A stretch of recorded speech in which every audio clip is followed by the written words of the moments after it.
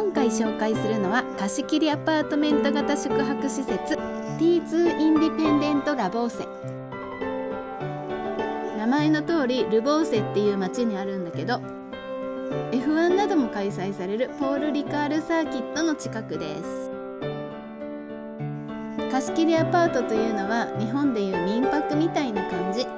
ヨーロッパの安めの宿はこの形式がほとんど。T2 インディペンデントルボーセはこのベッドルームとリビングが分かれた間取りとかなり設備の整ったキッチンがお気に入り。バルコニーがあったり近くにはスーパーがあったりとフランスの日常が味わえておすすめです。